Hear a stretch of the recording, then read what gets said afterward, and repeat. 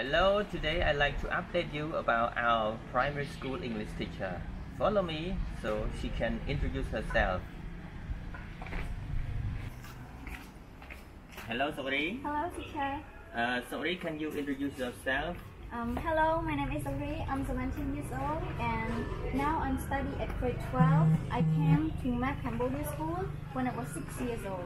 Now I'm really proud and happy as a teach, teacher uh, for MAP Cambodia School because I can use what uh, MAP Cambodia School uh, taught me during all this year.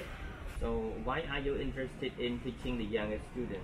First of all, because I like younger students and younger students also like me.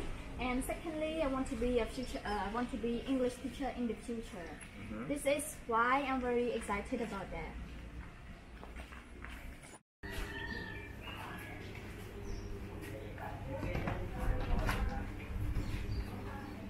So, how do you know that the kids like you? Uh, when I was assistant English teacher, I know that the children like entertaining and fun activity, and I like the same thing. And so I believe they like me. Oh, sound interesting. Um, I wish to be a kid again, so I will study with you. You can be my assistant English teacher.